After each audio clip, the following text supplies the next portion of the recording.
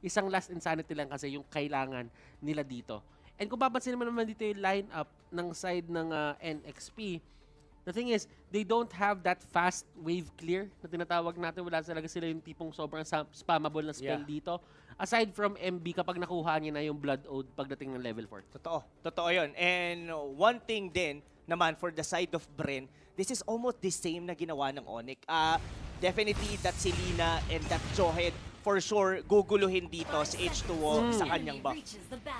And in terms of wave clear dito, I'm actually going to think that uh, siguro nakuha ng Bren Esports yung tamang timpla niya while for si NXP, I think medyo kailangan niya mag-adjust accordingly sa binibigay na pressure ni Bren Esports. Yes. Tingnan natin kung paano magpa-pan out tong game na to. Yun ang tanong kung paano nga talaga dito magpapanout. Ito na, mga kaibigan, bakbaka na Bren Esports versus NXP Solid game number 1. And as you can see, H2O dito, medyo talaga nag-iingat lang siya. Ito yung sinasabi natin eh. Kumbaga, yung Thorn Rose kasi, triangle siya, so madaming matatamaan and you can divide the damage. Pero tingnan mo ginagawa ni Lasty dito.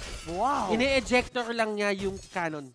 Because he knows na kapag ginawa niya yun, madedelay pa ng onti si H2. At pag na-delay si H2, pwede pa sila mag-invade. Yes, good point yon. Actually, yun din yung naisip ko nung, sabi ko, in-ejector niya yung uh, siege minion. Tapos nung nilipat yung camera doon sa may purple buff, makukuha na nila. If napatay kagad yun ni H2, he could just flinch papunta doon and probably retry. At Mm. baka nanakaw pa nga niya. Pero hindi yun nangyari because in-anticipate na nga yun ng Bren. Tsaka ano din eh, maganda din yung ginawa ng NXP doon. Binato na nila agad si Chester doon. Pinabawasan na nila. Kaya hindi na kinatagalan. So yung delay na ginawa, na ano din, nasagutan din agad. Oo, nasagutan din agad. Pero ang sagot dito ng Bren, tayo ang mag-invade. Nakuha pa rin naman dito ng H2O yung kanyang purple buff. May bawi nga kaya ba dito ang NXP dahil mainit ang Bren. Flicker out si Few. Ito na, mga kaibigan, ang unang nawala. That's gonna be Chester. Hindi pa sila humihinto. H2O, level 4 na siya dito. Pero nagamit ng Tempest of Blade. Paalis, patakas, and that's it. First blood for Bren Esports. At bago ang lahat, from October 27 to November 13, log in the game and participate in the Trickstars Village event and get Halloween candies for Treasure Spin. Each spin will cost 4 Halloween candies and you can get up to 7 each day from completing the task. Ah, makakakuha ka ng Terisla Special Skin Hammer Giant uh, guaranteed pagkatapos ng 10 spin and you don't want to miss that Okay. one out. So napapansin mo dito kapag ginagawa ng NXP Solid ng adjustment, yung mga other lanes para makuha agad ni H2O na mabilis yung mga crab coin, yung mga buff, eh sinisimulan na nila agad. Para pagdating ni H2 doon, onti na lang yung gagawin niya. And they know na merong upper hand talaga ka dito, kasi dito in terms of clearing ang Brain Esports kasi mabilis talaga ang lance eh. So what you do is, para malesen yung time na tinitake nila na mag-take ng mga monsters, bawasan mo na agad. Para hindi na siya problema na lumipat doon sa kabilang area naman. Yes. Parang ano no, i, parang sinusubo mo na Oo. papunta kagad sa kanya the resources he actually needs. Meanwhile, on the top lane, looks like uh, Flat PC yung medyo uh, nananalo in this engagement. Pero I guess, hindi pa rin siya pwedeng maging overconfident dahil pwede pa rin siyang masipa papasok doon sa may tore ni Rene J. Yawi here are forced to use the vengeance. Pero yung kunat niya dito, mawawala because Carl TC will be there. Hurricane Dance, pinatalsik, pinalayo lang dito pero umikot na rin dito si Kuya Moribo. Out na muna ang squad ng Brand Esports Tail. Nawala na naman ng isang miyembro ang NXP Solid. Malinis yung mga plays na nagagawa dito ng Brand Esports. Napipili na yung laban nila and nahuhuli nila yung NXP Solid sa mga area na hindi sila dapat nandun. Nakita mo yung Carmilla, masyadong malalim yon and ang ginawa agad ng Brand Esports, parusahan natin. NXP Solid, they should stay away from those kinds of positioning kasi talagang hindi magdadalawang isip ang Brand Esports na bigyan ng punishment yung mga ganong kaliliit na bagay. Totoo, totoo yun. And look at the traps din na piniplace dito ni Few. He actually knows how NXP Solid is doing uh, on the bottom lane. So, kumbaga, dito yung top lane nila, si Flap TC is, ay alam niya na 1v1 lang sila doon. Nan. So, I think yung Selena dito, they're not definitely just getting simple pick-up. Pero mamaya na yan. Dahil si Flap TC yata ay papalag naman dito kay Ready J. Pero Carl TC, nandito na yung kapatid. Ika'y mawawala. Another one na naman para sa Brain Esports. Ito yung nakikita natin kanina sa Onyx na parang every single time na merong duel na nangyayari, merong backup agad yung kanilang mga teammates. Papansin mo dito, Brian Esports, they're sticking to that uh, playstyle as well.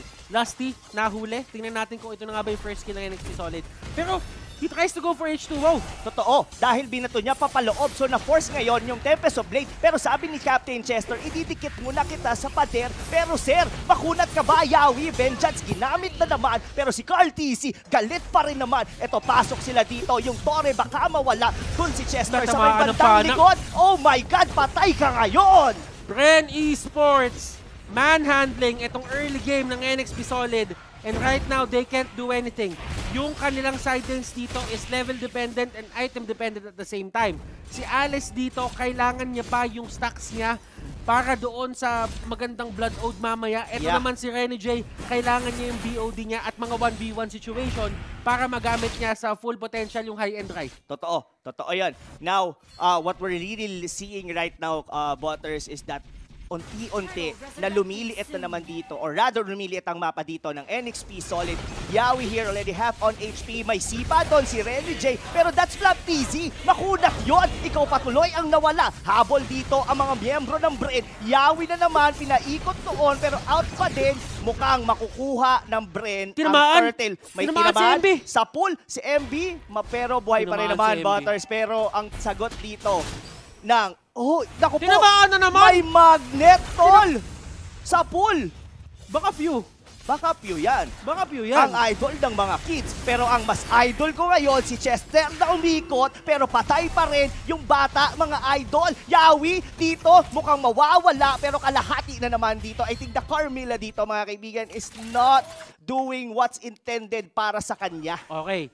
Tingnan natin yung side dito ng NXP Solid kung ano ginagawa nilang tama. Ito yung isang bagay. H2O dito, kahit sobrang nagkakaroon na ng problema doon sa rotation nila and the jungle control, map control na meron sila, nag-split push pa rin siya. Yes. And usually, kapag ka medyo behind kayo in terms of uh, getting the gold and getting the kills, yan yung usual ginagawa ng Ling. Nagaanap siya ng lane na pwede siya mag-push at magpapadala siya ng isang tao galing dun sa kalaban or kung hindi man siya pansinin, kukuha siya ng isang turret o dalawang turret. Totoo yan. So, that's the thing about uh, NXP Solid.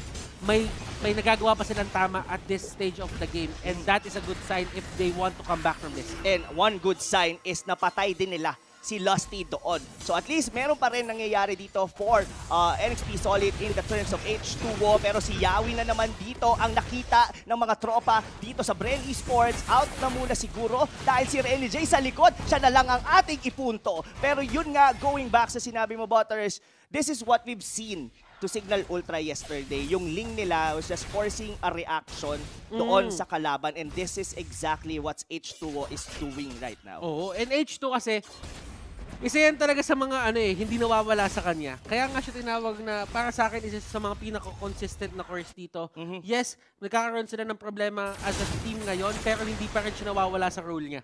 Yeah, oo nga. Tata- well, I- yeah, I agree with you. Sobrang consistent pa rin dito talaga. H2O, he knows that uh, they're not gonna be winning uh, at least for this time sa mga team fight. Then might as well go for the side lane, try to split push, then just drag out the game. Uh, Bren Esport already had the early to mid game. Let's just try to uh, uh, make an outplay Mm. on the late game. Pero kasi, eto din, ginagawa ni H2O talaga yung role niya. So, ibig sabihin, for NXP Solid, kailangan na lang nila hanapin dito yung gagawin ng apat. Kasi ngayon, Brand Esports hindi magpapatinag sa pressure to eh. Alam ng Brand Esports na sila yung lamang ngayon and they know this all too well kasi nga sanay na sanay sila sa pwesto na lamang sila kasi nga halos hindi nagpapatalo hindi nagpapatalo to yung mga to eh. Oo. Na, nabulol ako doon. Yes, Papatalo. pa- nagpapatalo. Ang, ang hirap sabihin. Sabihin mo. Nagpapatalo. Oh. Pero mukhang matatalo yata doon ng NXP dahil nawala doon si Chester. Look at Lusty, naghahanap dito ng mababato. Pero flicker out na si MB, hindi niya nahihintayin pa ang ejector dito ni Lusty. Now, what is really happening now with Butters for this side? What's the winning condition for NXP Solid? The winning condition for NXP Solid is to take this to a very late game. Kasi nakita na natin to, yung Lance kasi medyo reliant talaga siya in terms of uh, using yung kanyang skills. So as long as you can outlive yung skills dito nung Lancelot, magiging okay yung damage output nyo. Pero kasi ang problema, hindi naman nahayaan ng Brand Esports dito.